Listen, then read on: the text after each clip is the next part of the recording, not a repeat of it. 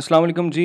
In this lesson we are going to learn कि अपनी file को एज अ पैकेज कैसे सेव किया जा सकता है और इसके क्या बेनिफिट्स हैं।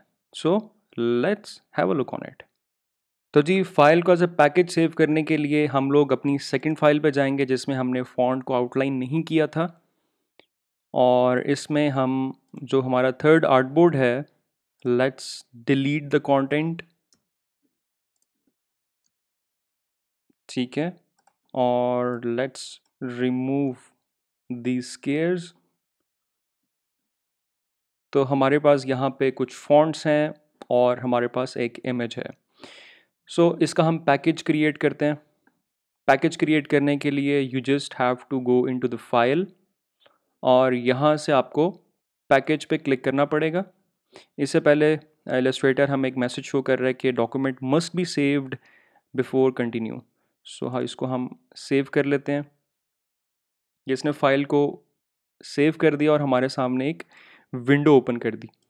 अब यहाँ पे वो हमसे पूछता है कि आपने इसकी लोकेशन क्या रखनी है? तो आप लोकेशन कोई भी रख सकते हैं। तो इसकी लोकेशन मैं इस वक्त डेस्कटॉप रख लेता हूँ और यहाँ पे कोटेशन डिज़ाइन फोल्डर की जगह हम इसको पैकेज कर लेते हैं। ठीक है? और यहाँ पे जो नीचे ऑप्शंस हैं इसमें से बड़ा ज़रूरी है कि आपने कॉपी फॉन्ट्स इसको आपने चेक करना है, अगर ये आपका अनचेक्ड है। और इसके अलावा ये जो आपका relink linked files to document इसको आप चेक करें। और collect links in separate folder इसको आपने चेक करना है।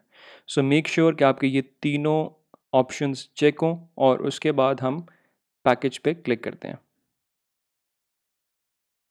सो क्लिक ओके ये इसने हमारा पैकेज क्रिएट कर दिया। अब हम डेस्कटॉप पे जाके देखते हैं कि इसने हमें क्या सेव करके दिया।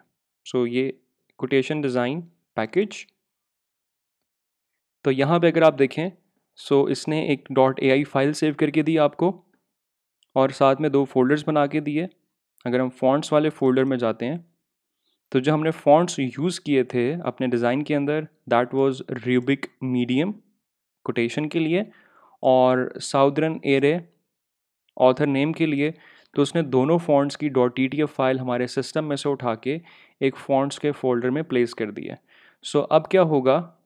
जब कोई इस फ़ाइल को यूज़ करने लगेगा तो वो पहले इन फॉन्ट्स को इंस्टॉल करेगा अपने सिस्टम के अंदर और उसके बाद वो जब इस फ़ाइल को ओपन करेगा तो उसके पास मिसिंग फॉन्ट्स का एरर नहीं आएगा। सो so, बिल्कुल ऐसे ही हमने एक इमेज यूज़ की थी अपने डिज़ाइन के अंदर।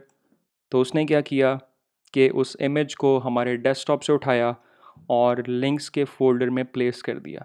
सो so, जब ये फ़ाइल ओपन की जाएगी किसी और सिस्टम के अंदर तो उस टीम मेंबर के पास उस क्लाइंट के पास मिसिंग इमेज का ऑप्शन भी नहीं आएगा। तो सेकेंड इमेज के साथ हम एक और काम ये कर सकते हैं कि इमेज को हम एम्बेड कर सकते हैं इस डॉक्यूमेंट के अंदर। हम इसका जो लिंक है उसको ख़त्म कर दें इसको हम एम्बेड कर देते हैं। सो so, इसको एम्बेड करने के दो तरीके हैं। Let's select the image layers में जाके हम इमेज को सेलेक्ट करते हैं, ठीक है?